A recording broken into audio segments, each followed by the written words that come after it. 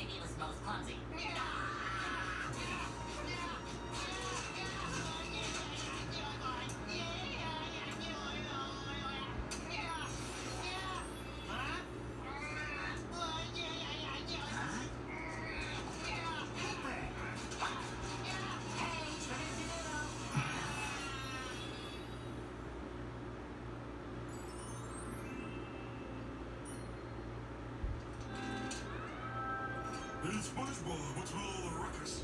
Take a look for yourself, Patrick. It's the evil doodle! No, no, not evil. He was just a two-dimensional creature, lost in our three-dimensional aquatic world, longing for a purpose. So, is it dry? Exactly. See how heavy he is? It still looks kind of creepy.